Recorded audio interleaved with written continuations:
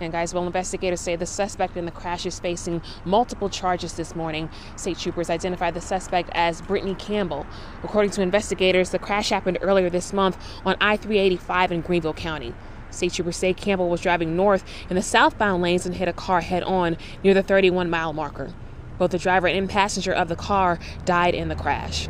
Troopers also said Campbell was injured in the crash. She's now charged with two counts of felony DUI resulting in death, as well as driving under suspension. She's scheduled for a bond hearing later this morning, and we'll continue to bring you updates on the hearing throughout the day. Live in Greenville, Jamia Reed, WYFF News 4.